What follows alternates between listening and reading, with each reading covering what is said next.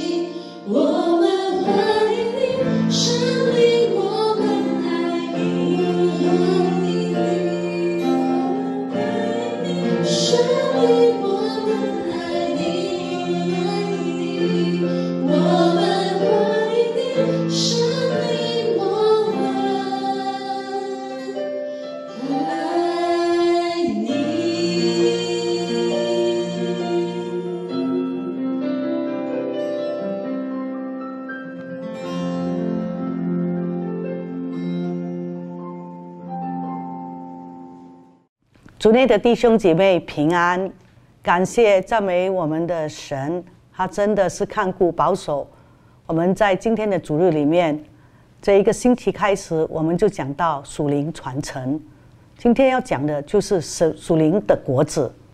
我们都知道，当耶稣在世上的时候，圣灵在他的生命里面，让我们看见圣灵教导我们今天怎么说。他跟门徒说，他要离开这世上了。圣灵保卫师他会来，他来就是要给我们有智慧、有聪明，怎么样带领我们继续过基督徒的生命。上帝也知道我们软弱的肢体，很多时候靠我们自己，我们无法胜过一切的试探，胜过一切的罪恶。但圣灵来，他来影响我们的生命，他来带领我们的生命。叫我们能够在上帝的眼中成为他合用的器皿。约翰福音十四章二十六节，但保卫师就是父因我的名所要差来的圣灵，他要将一切的事指教你们，并且要叫你们想起我对你们所说的话，一切的话。我们一起来祷告，天父上帝，我们感谢，我们要赞美你，谢谢你让我们。再一次能够在你的面前领受你丰盛的恩典，再一次领受上帝你给我们属天的玛纳，主啊，向我们心里面来说话，主啊，将我们自己全然的交给你，你来高摩你的使女，也高摩我们每一个人在听的，无论现在在线上所观看的、所收看的，在新加坡、在巴旦、在崩亚赖。在八度，甚至在单用避难的弟兄姐妹，他们都要领受神你的话。今天你有话要向我们来说，并且我们要得到造就，我们要得到更新。圣灵，你是我们的老师，你帮助我们，让我们所有软弱的肢体能够再一次重新得力，更新我们生命，直到我们能够以呼召以耶稣的生命相称。谢谢你听我们祷告，奉耶稣的名求。阿门。圣灵传承，圣灵来就是透过我们的耶稣基督。他说了，他说圣灵来，他来到我们生命里面是来做帮助的工作。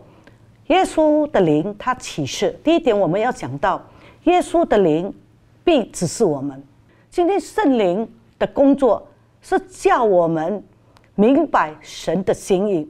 以前我们不认识他，我们只认识耶稣而已。但是我们认识耶稣之后，接受耶稣成为我们生命的救主，我们悔改，圣灵就在我们里面工作了。他叫我们更懂得明白真理。我们不懂，很多时候圣经的话语我们不懂，但是圣灵他是我们的老师，他能够来教导我们，使到我们能够明白。圣灵也能够在我们里面来安慰我们，他也是我们的安慰师。很多时候，我们遇到问题的时候，我们没有人能够安慰我，人的话语也是有限，也没有办法安慰我们。但圣灵来，他安慰我们，他也是我们的辩护师。那一些讲的在真理上有偏差的，圣灵来，他用真理使到我们得自由，使到我们得明白。他也为我们代求，圣灵也常常为我们做代求的工作，叫我们想起。圣经的话语的时候，我们就得自由，就得释放。约翰福音十六章第八节说：“他既然来了，就是要叫世人为罪、为义、为审判，自己责备自己。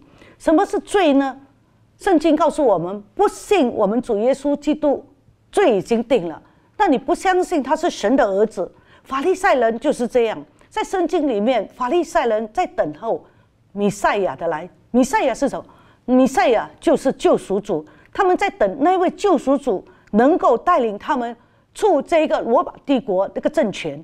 但是呢，耶稣已经来了，他们不承认耶稣，他们不接受耶稣，他看清耶稣，因为耶稣他的出生是在马槽里面出生，并且他是在木匠家庭里面，他的身世、他的背景看起来他们都不可以接纳。所以呢，这些法利赛人呢，就瞧不起耶稣基督了。那什么是义？义呢，就是我们跟我们的天父的关系和好，使到他所教导我们的，我们不再重做，我们就不再犯罪，从我们的黑暗的国度里面走出来，进到光明里面，就是我们跟上帝的关系和好。既然他来了，就是为罪、为义、为审判。那审判又是什么？上帝要审判，就是这世界的王。这世界的王是谁呢？法利赛人所相信这世界的王就是魔鬼撒旦。魔鬼撒旦他常常来做欺骗的工作，使到我们相信他的话语，我们歪曲了神的真理。神神的真理要叫我们得自由，但是。魔鬼撒旦来了，叫我们得捆绑，叫我们得惧怕，叫我们活在很多的这些罪恶当中。今天圣经告诉我们，为审判就是审判魔鬼撒旦，因为他所做的事情都是来抵挡上帝的造物主。我们都是上帝所造的，我们有上帝的属性的，但是因着罪的关系，使得我们跟上帝的关系破坏了。今天耶稣来的目的。就是要使到我们得救、得救恩，然后呢，进到他的圣洁的国度里面。当我们有圣灵引导我们的时候，我们求告他的名。今天我们求告耶稣基督的名字，就叫我们得益处了。今天我们祷告，我们奉耶稣基督的名祷告，圣灵告诉我们奉耶稣的名祷告，我们就得着上帝给我们的能力。我们越祷告，我们就有越能力。当我们心灵里面越有能力的时候，我们知道真理就叫我们得自由。神的话语叫我们得自由，真理叫我们看见上帝的荣耀。心里面有常常被圣灵感动的人，当我们面对到一些事情，我们没有办法很有果效去服侍的时候，圣灵在我们里面，他会赐给我们骨财，他会赐给我们口才，他会赐给我们一切的能力。叫我们这些软弱的肢体、没有能力的肢体，圣灵与我们同工，我们就看到我们里面的能力就加强起来了。我们本不会祷告，但是圣灵他会说不出来的叹息为我们代祷。圣灵在我们生命里面如此的重要，并且圣灵他是内住在我们里面。哥林多前书三章十六节说：“岂不知你们的你们是神的殿？”神的灵就住在你里头吗？我们有圣灵住在我们里面，我们的身体是神的殿，神住在我们里面，叫我们得着能力，叫我们得着他的真理，并且明白神的事。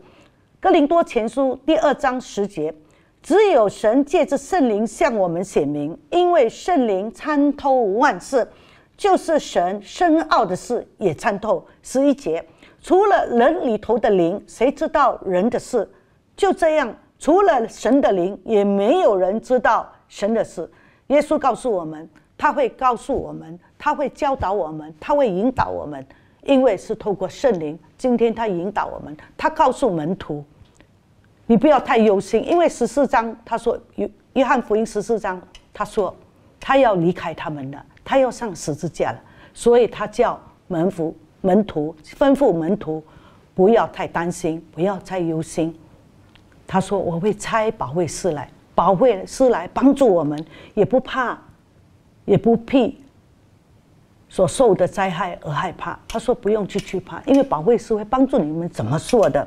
因为当那个时候，罗马兵丁要抓跟随耶稣的人，所以那些有些门徒跟随耶稣，他们带着惧怕。”所以耶稣也告诉他们：“你不用去担心讲什么。今天我们也不懂得怎么样传福音，我们也不懂怎么样做。但是我相信，你透过祷告，圣灵会在我们里面教导我们怎么说，怎么把福音传出来。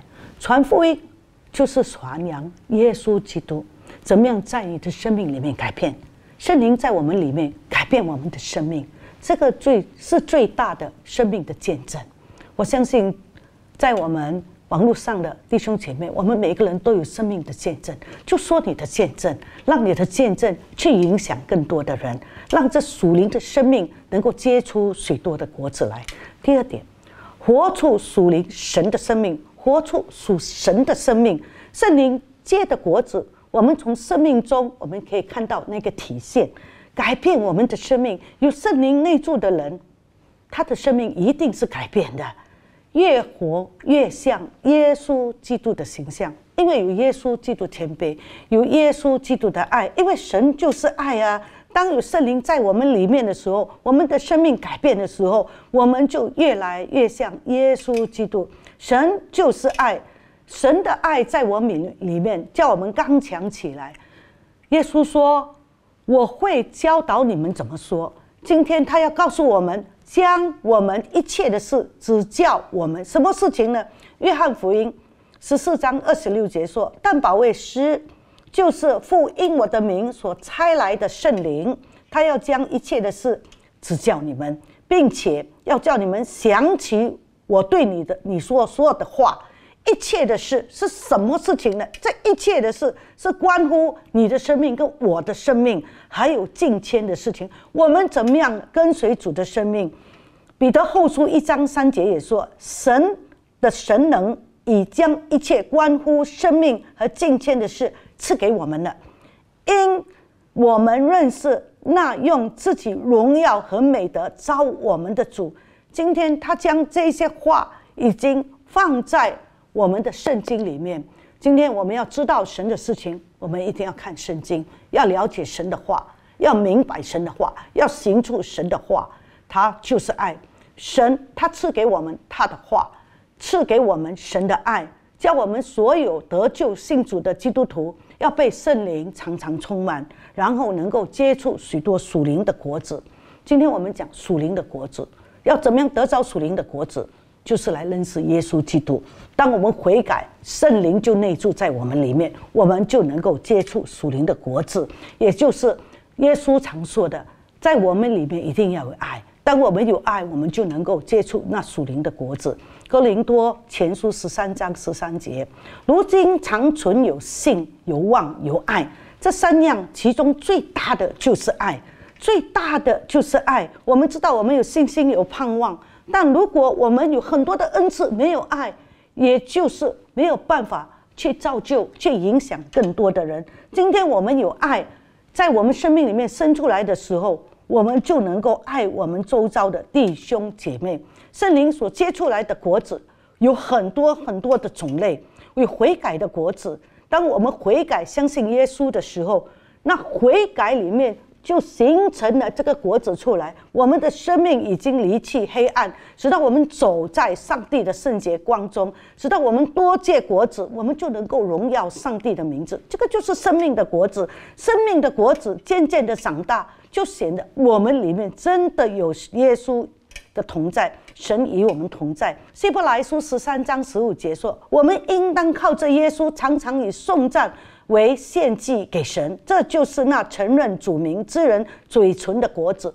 希伯来书的作者说：“我们的口啊，常常要赞美神，我们要荣耀神，我们要感谢神。我们不说消极的话，我们所说的话就是赞美上帝的话。我们称赞人，我们讲这些积极的话。”今天我们的口中要结出那属灵的果子，就是要荣耀上帝的名字，将这些属灵的果子从我们生命里面活出来。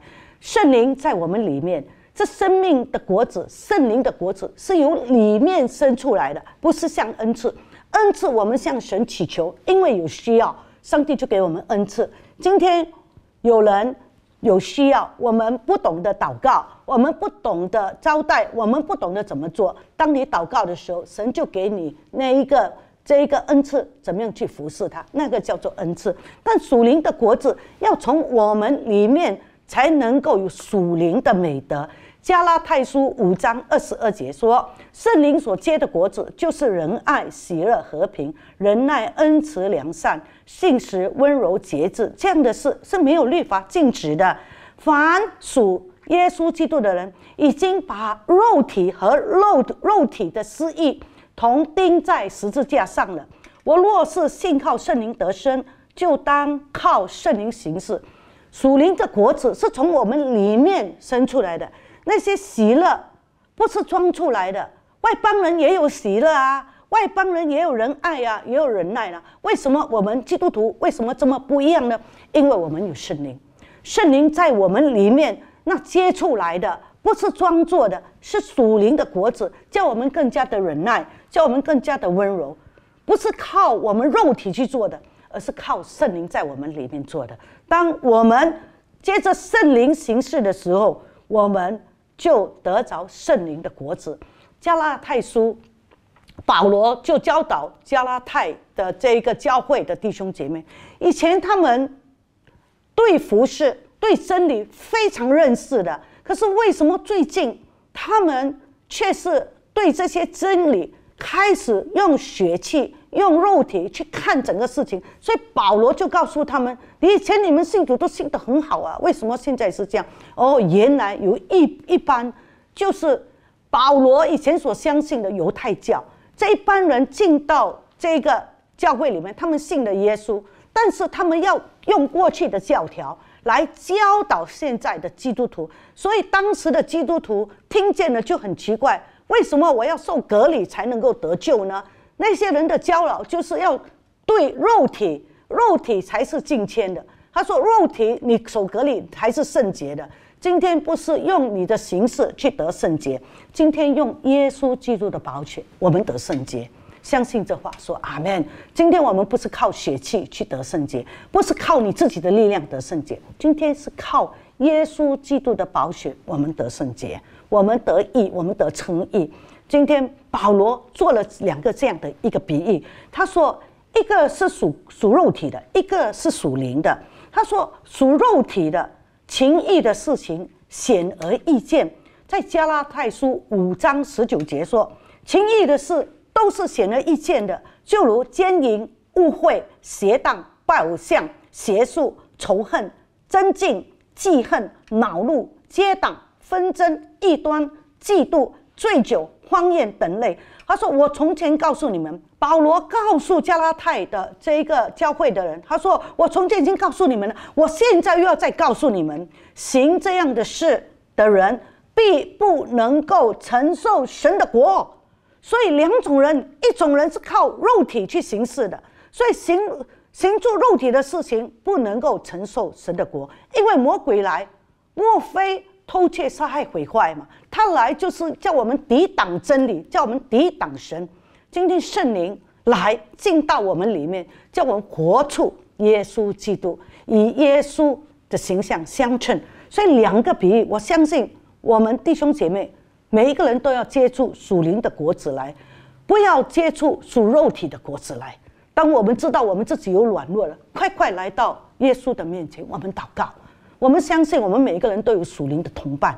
有时，有时候魔鬼撒旦封闭了我们的眼睛，看不见；但我们的属灵同伴他看得见，看得看见我们什么时候会跌倒，看见我们什么时候已经离开神了。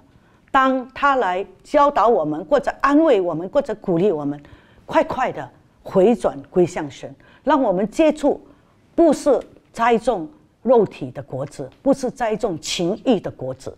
我们结出来是属灵的果子，我们感谢神。那加给我们的力量，我们凡事都能够做。我们虽然有很多的软弱，我们做不到，但腓立比书四章十三节说：“那靠着那加给我的力量，凡事都能够做，做神所喜悦的事，而不是做神不喜悦的事啊！不要乱乱用这段经文说神加给我的力量，我能够做。我告诉你，千万别做神不喜悦你的事情，违背神的真理的事。”不要做。当我们做神所喜悦的事情的时候，从我们的荣光，从我们的生命，就可以看到你这人有没有属灵的果子。那属灵的果子有很多种，从你这个基督徒外在，从你的言语行为，你常常是不是带着感恩、感谢神？你常常带着赞美，无论你无遇到逆境顺境，你都是凡事感恩的，还是你一开口的时候就是责备或者埋怨，或者有很多消极的话语？我相信坐在这个荧幕上的或者这网络前的弟兄姐妹，我们都能够接触圣灵在我们生命里面的果子。阿门。第三点。圣灵在我们生命里面给我们彼此去造就的，彼此造就来建造教会的。圣灵给我们能力，就是来见证耶稣基督。我们每个人都很熟这段经节，于是我们五旬中教会的人，《使徒行传》第一章第八节，但圣灵降在我们身上，我们就必得着能力，并要在耶路撒冷、犹太全地和撒玛利亚，直到地极，做耶稣基督的见证。圣灵给我们能力去做见证。当我们开始做见证的时候，弟兄姐妹，那是圣灵在你的里面给你能力的。他给我们能力，就是高举耶稣的名字。这就是我们属灵传承、接触许多的圣灵的果子。耶稣差保卫师来，使到我们生命的改变，活出属神的生命，来完成耶稣基督的使命。今天我们活在世上。我们活在世上，最重要的是活出耶稣的那个生命出来。哥林多前书十二章七节说：“圣灵显在个人的身上，是叫人得益处。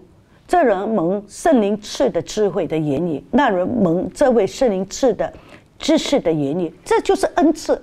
圣灵在我们生命里面，它不只是给我们生命的果子，也给我们不同的恩赐，让我们这些恩赐能够造就教会。”而不是炫耀神，他借着圣灵使到我们里面能力刚强起来，使到我们服侍更有果效。他给我们恩赐，但是保罗就说了，我们不要太炫耀我们自己的恩赐，不要太夸口自己的恩赐。所以保罗他说，最重要的就是要有信、有望、有爱。最重要、最重要的就是那个爱。今天我们是否抓到这个真理？要好好的去爱我们的弟兄姐妹，来建造教会。当上帝给我们这个恩赐的时候，我们是否很有智慧的去用这个恩赐，还是像那一个仆人这样？上帝给一个人五千两银子、两千两银子、一千两银子，五千赚了又五千，两千赚了又两千，一千两银子的，他把它埋在地底下，他不愿意去做。当他不愿意去做，当这一个。屋主来收的时候，原主来收的时候，主人来收的时候，五千的拿得出所赚的，两千拿得出他所赚的，一千就拿不出他所赚的。为什么呢？因为他不用。当上帝给我们恩赐的时候，我们用；当用的时候，他知道我们不足，他会再加给你，再加给你，再加给你。若是我们用，我们炫耀我们自己的时候，我告诉你，连你有的，他也要拿去给那些更有的。所以这一千两银子他不用，他就把他的就拿起来了，给那些所有的。他还要称赞那些所有的，你是又忠心又良善的管家。我们盼望我们有一天回到天家的时候，我们的天父会告诉我，你是又忠心又良善的管家。他所托付给我们的，我们做到了，还是他所托付给我们的，我们轻看，轻看耶稣。他所托付给我们，耶稣今天托付给我们，给我们最大的一个大使命，去使万民成为主耶稣的门徒。他说：“去，弟兄姐妹。”他说：“去，去做什么？把人带到耶稣的面前，把人带到耶稣的面前。如果你听得到，你不去，圣灵已经感动了，你不去，我告诉你，下次圣灵不感动你了，因为既然感动你了，你都不动。”那改天没有了，你的心就变成麻痹了，你这个人变成死了。虽然有敬谦的外表，每一个星期到教会里面聚会，但是你的心是死的。圣灵跟你说话，你都不动。那不动的时候怎么办呢？等他来的时候，他要向我们说什么？马太福音二十五章二十九节说：“因为凡有的，还要加给他。”Amen，要嫁给你，叫他。有余的、没有的，连他所有的也要夺过来，把这无用的仆人丢在外面的黑暗里，在那里必要哀哭切齿了。当待审判的时候就是这样。当耶稣来，在我们这棵树里面找果子，他说：“哎呀，这棵树没有果子啊，白占土地啊，把它砍掉了，把它砍掉了。”然后原主说：“暂时留他吧，暂时留他吧，因为这一棵是无花果树，种在干种在葡萄树里面。我们都是蒙恩得救的外邦人来的。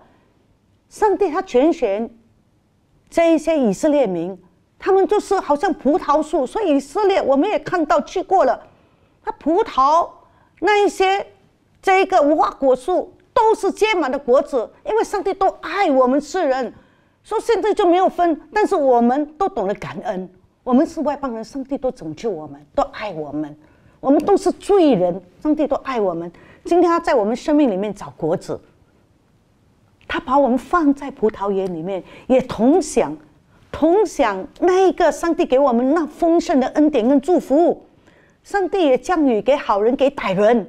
但是我们这些不配的，上帝也仍然的给我们。今天我们能不能够结果子，取决于你自己。今天圣灵感动你了，叫你去，不要啦；叫你去，你不动了。我告诉你，那改天他来的时候，他说：“既然你不结果子，白占土地，那我们就要砍掉它了，要砍掉它了。”哦，原主一直在为我们呼求。原主是谁呢？原主管园的，他在为我们呼求；管园的常常为我们祷告，牧师们常常围着会友来祷告，你家父母亲也常常围着孩子们来祷告。主啊，让我的孩子走回正道。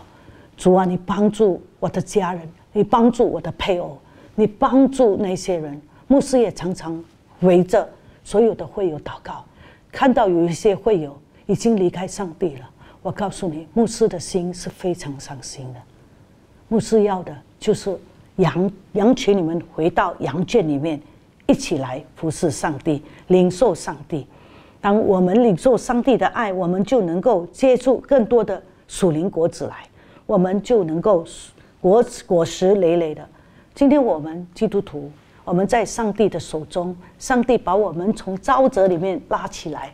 救了起来，把我们放在葡萄园里面，给我们结丰盛的果子。当我们里面有圣灵同在的时候，我们的果子一定是累累的。我们是有喜乐、有平安的，这是圣灵在我们里面接触来的。那我们接触圣灵的果子来，我们是否能够影响到我们旁边的人？你旁边的人是否看到这圣灵的传承传给你呢？我们要透过我们的生命活出耶稣基督的生命。耶稣他离开，他说：“我会差保卫师来，来教导我们当行的路。”那一位知道我们、认识我们的那一位，他住在我们里面，他没有离开你哦，他住在你里面。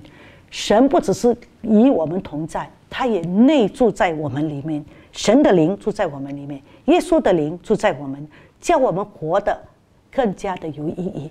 今天你的生命是否能够活出像主耶稣的形象，这样如何谦卑，这样的喜乐，这样的愿意服侍的呢？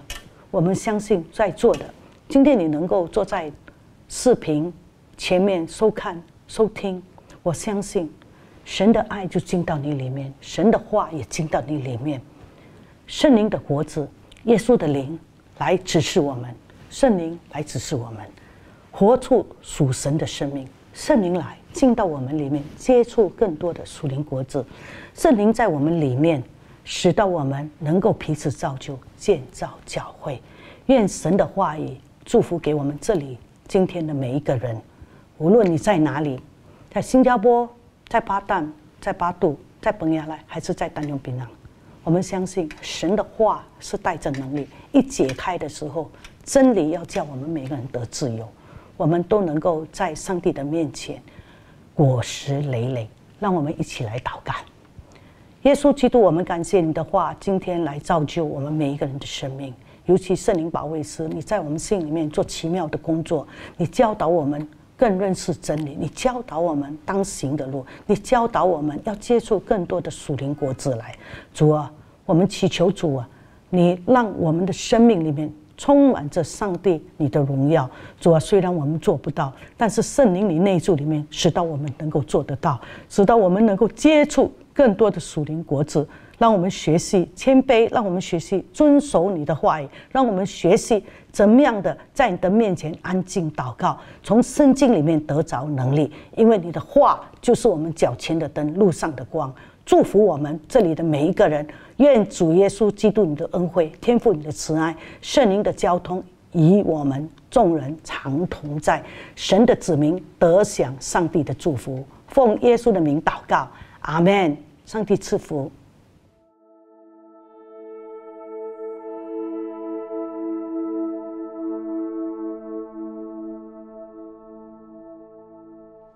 里面感谢赞美主，相信大家透过刚才的正道，已经有所领受，得着，被上帝的话语所造就。现在我们要收取今天的奉献，奉献对基督徒的信仰来说是非常重要的。让我们预备好自己的心来奉献。亲爱的天父上帝，我们满心感谢赞美你，感谢你赐给我们生活中所需用的一切。我们要将你所赐给我们的一部分献上奉献给你，愿你使用我们的奉献来扩扩张你的国度。也祈求父神，你赐福于这些甘心乐意奉献的每一位弟兄姐妹。我们如此祷告，乃是奉我主耶稣基督的名，阿门。我们可以通过荧幕上的 QR 码来电子奉献，或可以将支票邮寄至我们教会办公室。有关更多奉献方式，可以查阅我们的网站。如果你想回应今天的信息，还是你想更多了解关于耶稣，你可以通过我们的网站 emmanuel.org.sg，或者是我们的 Facebook、Instagram，还是我们的祷告网站来与我们联系。非常感谢大家今天在线上与我们一同的来崇拜。我们要提醒大家，下个星期我们仍旧是在线上崇拜，并且一同的来领受圣餐。非常感谢大家今天的参与，我们下周见，上帝赐福。